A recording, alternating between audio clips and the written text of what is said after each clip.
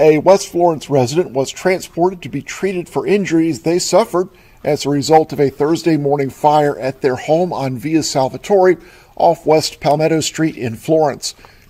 Florence firefighters responded about 1049 with mutual aid from West Florence firefighters to the residents at 1042 Via Salvatore to a reported structure fire. They arrived to find a working fire in the master bedroom. West Florence firefighters made quick work of the fire, while Florence firefighters searched the home to make sure there were no other people there at the time. The resident who was home at the time of the fire was able to escape the house and was initially seen to by medics with Florence County EMS before being transported to a Florence area hospital for treatment.